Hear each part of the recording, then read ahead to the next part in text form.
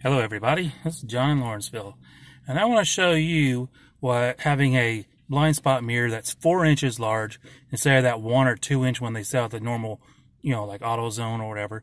I got this four inch uh, large blind spot mirror that usually goes on semi trucks, and I was at uh, uh, Napa. I hardly ever like going there to buy parts because they're so expensive, but they usually have the part I need.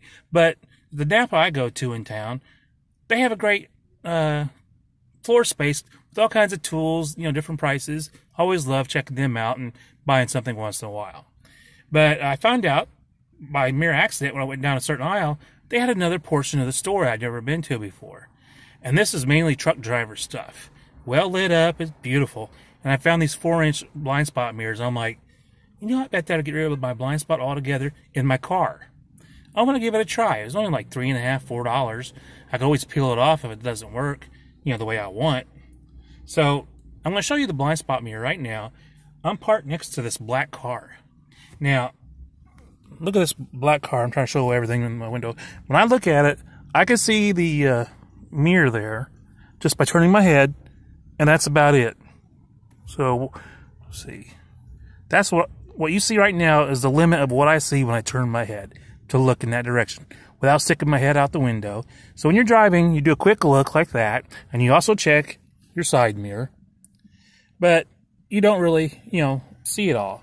Now, I'm going to show you what I see here in a moment. Just a second. Um, I need start the car back up. Oh, okay. I know it's wrong. Okay. um, if I want, I could push this side mirror like this so I can see a little bit of my car like we were trained to when when we were trained to drive a car.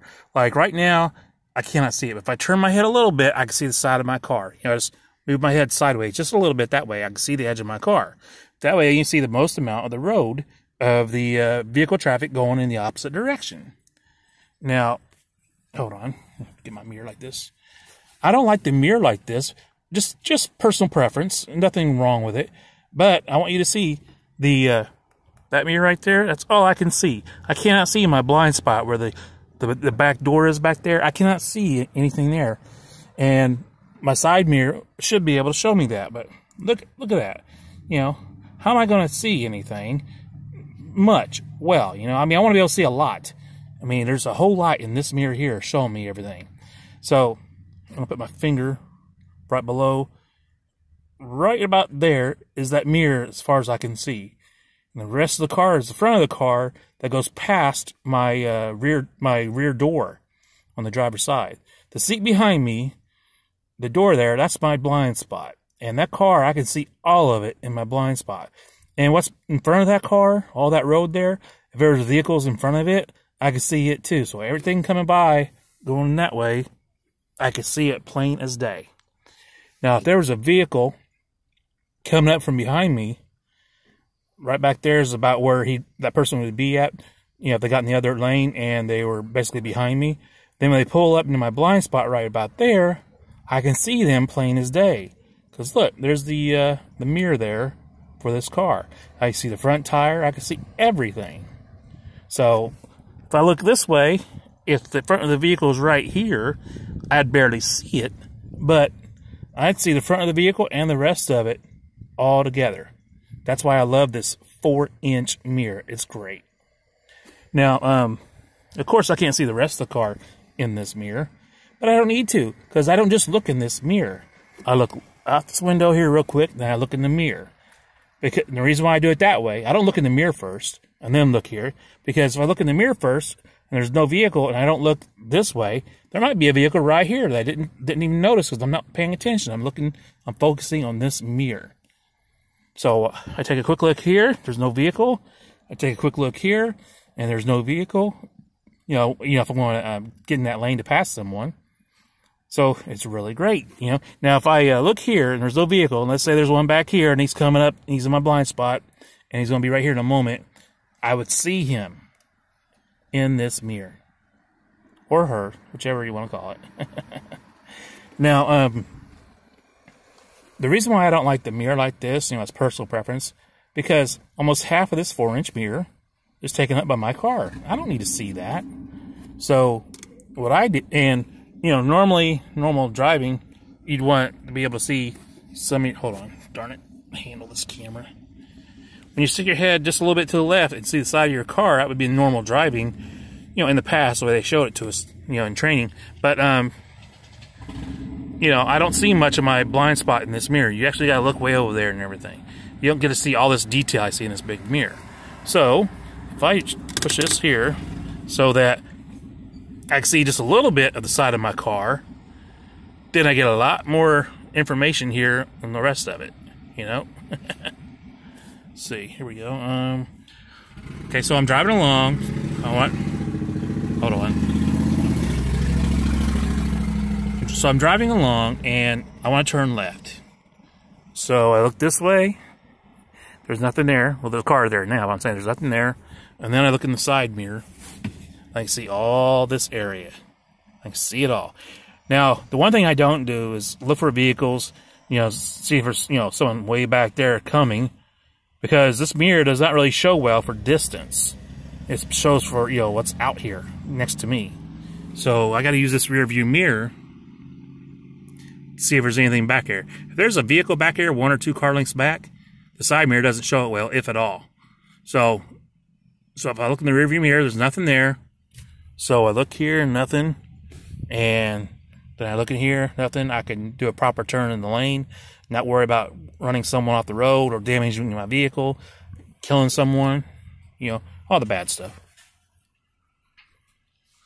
So, uh, I'm no professional. I just have my own opinions, and I'm just letting you know, you know what I like about you know this four inch mirror. I've never thought about the four inch mirror that was in the semi truck when I was driving semi.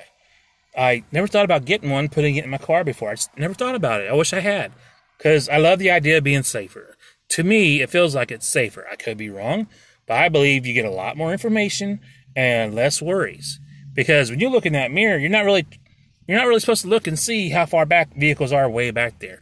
You're supposed to see if there's anything next to your car that's going to be in the way when you try to do a proper turn, you know, to get in the lane to pass. Or if you want to do a left hand turn. You want to see if there's anything right here. So if I was going to slow down, you know, in the middle of a, the, lane, in the turning lanes, and stop, I look in my rear view mirror to see if there's anybody behind me. You know, then I look to the left, there's nothing there. I look at my side mirror, make sure no one's coming up and then I turn left, not worry. And you know, if I'm driving down the road and it's kind of slow or whatever, and I'm afraid that people don't know there's a slow vehicle in front of me, they might want to pass. And I want to make sure that they're not going to have a head-on collision with opposing traffic. So, you know, I can look at my rearview mirror, I can look at my side mirror to see if there's anyone trying to pass me. Because I can see, you know, from the back of my vehicle all the way to the front whether or not someone's trying to pass me by looking in that four-inch uh, blind spot mirror. I want to call it a cheater mirror so badly that my mind says, no, blind spot. That's what you want to say, blind spot mirror. So, you know, uh, I'm not responsible if you try to do this and you can't do it right or, you know, you get in some kind of trouble because you have certain rules in your area. I'm just letting you know that I put this four inch mirror on here. I've had a two inch one or one inch, whatever size that little small sucker is.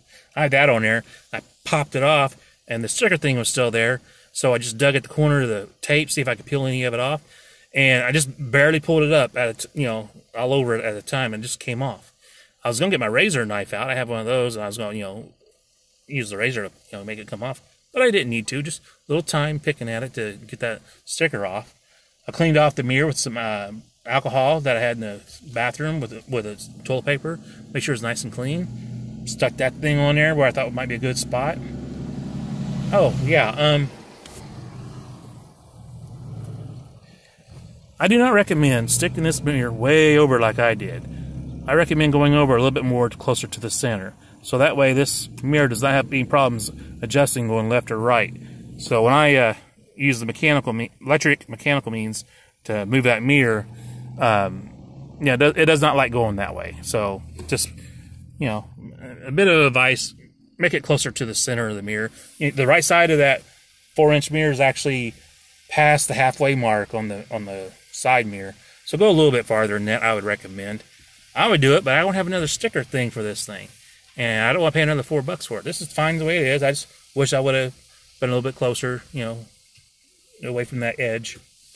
So it's John Lawrenceville. I hope you liked the video. I hope it, you know, you're like, well, I could try that. I like it. Hey, great. glad I watched that that 10 minute video.